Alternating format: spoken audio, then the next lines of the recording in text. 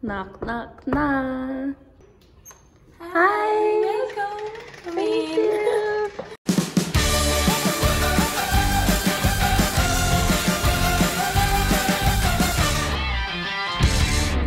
Hi, welcome back to our channel. Today I have a guest for our Knock Knock Knock series, Laura Rabadan. Like, could you introduce yourself briefly?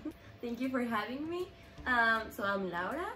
I study medical engineering here at the FAU. I study my master's. Uh, I'm from Mexico, Mexico City, and I've been living in Erlangen since 2021. So it's already two years. I'm already about to finish. I'm doing my thesis next semester. So medical engineering Yes. sounds really interesting, and then as far as I know, that is the most one of the most famous uh, program of our university. Could you introduce more about your program or what kind of project you have done in your study? of course. Uh, medical engineering in the masters has like English programs and German programs. I'm studying the English, one English program that it's image and signal processing. That's my program, uh, and usually it varies from this one and another one that's management, ho- hospital management. Management. So I chose this because in this you see more programming, Mm. you see more data processing. Mm. so that's what, what I like about it. Mhm. I have had a lot of classes where I have to program video games, I have to program some neural networks to get some medical image to look better Mhm. so you can see certain things of the medical images. And right now I'm looking for a thesis. I still don't have a topic, but Mhm. I think I'm gonna look for something about a video game, medical video game, or about something image processing. The medical game is for like a kids patients, like to like make them more relief when they have a treatment or. Uh, Exactly. Like uh, I had a class last semester. It's Mhm. called Exer Games. So we made a video game to make kids do more exercise. ah. It was kids that were sick with a fon- Fontan disease. Mm. So it was really specific. We worked with Uniklinikum Mm. and we made this game like uh, with the help of a doctor from Uniklinikum. Mm. And it was just like mini games. We tracked their uh, heart Mm. rhythm. We tracked how much physical activity they did on a week Mm. and so on. So my program is you can build your own program, your learning program by yourself. So you can select from multiple classes Mm. and the most popular choice by, by all the students it's uh, MRI image processing. Mm. The, there's a lot of classes that teach you how to uh, improve the processing time of the images, Mm. how to segment the images uh, in a more exact way, Yeah. and it's also have it also has to do with neural networks. Mm. So it's one of the most popular topics. There's a lot of classes for that, but I chose not to go into that section that much because I Mm. didn't feel like I wanted to work in that in the future. Yeah, yeah. Next question is how about your life is going on in Erlangen right now? Can you tell your story a little bit? I feel like it's going way better in summer than in winter because in Mexico City at least we don't have um, seasons.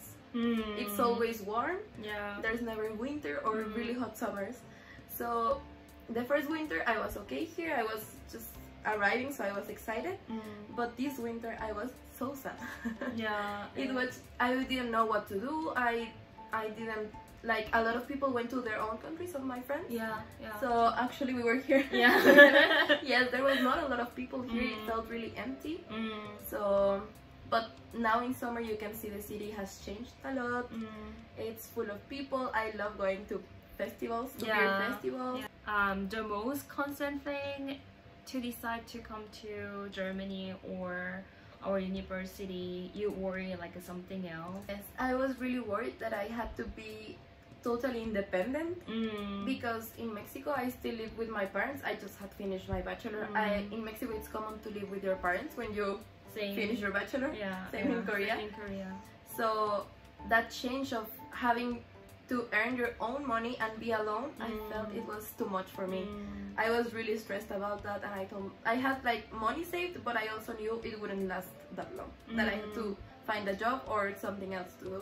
So I was really stressed about that. So Laura, you are also working as a working student right now, and Could you tell us about your job? Uh, of course. I work at Siemens Healthineers right now. Mm. I work in the marketing department, in the communications department. Mm. Um, I know it doesn't sound related to my Mm. degree to medical engineering, and it's actually not directly related as it would be if I was working in MRI or something like that. Mm. But it's related to what I want to work in, which is data analysis. Mm.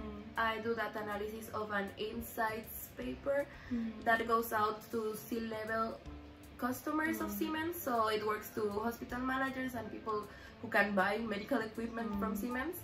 I analyze how that newsletter, uh, article page, uh, LinkedIn uh, post performs, and then I see over time what is better, what can we change, what can we improve. I think it's really good to tell to other students because like I saw a lot of students that really hesitated to even apply it like for a specific position. For example, I'm working in the sales department for mm. digitalization, but a lot of people think like for the sales team I should be a, like a business administration student or yeah something related really business programs but actually I'm, I'm studying decision making so it's really not related so I think other students also think about it you can apply for various positions and yeah let's see like how it goes and even people can learn like a lot from the di- like a different position different department I think like it's better to experiment